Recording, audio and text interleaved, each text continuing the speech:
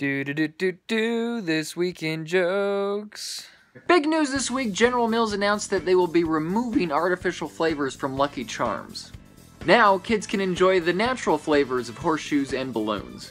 General Mills said that they are removing artificial flavors from cereal because they are known to cause behavioral changes in kids.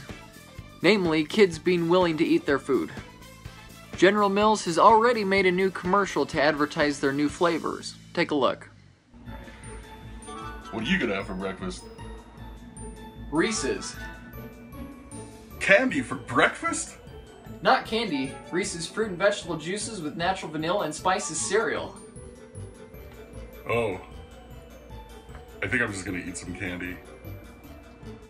This week, Universal Studios opened a Fast and the Furious themed ride. You can tell it's Fast and Furious themed because every turn is the same and it's geared towards 12 year olds.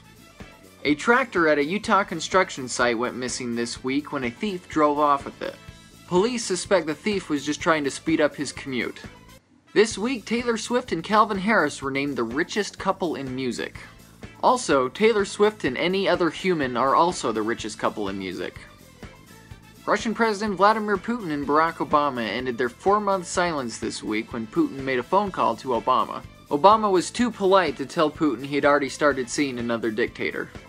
Referring to critics, Donald Trump was quoted as saying, They want to silence Donald Trump, and Donald Trump cannot be silenced.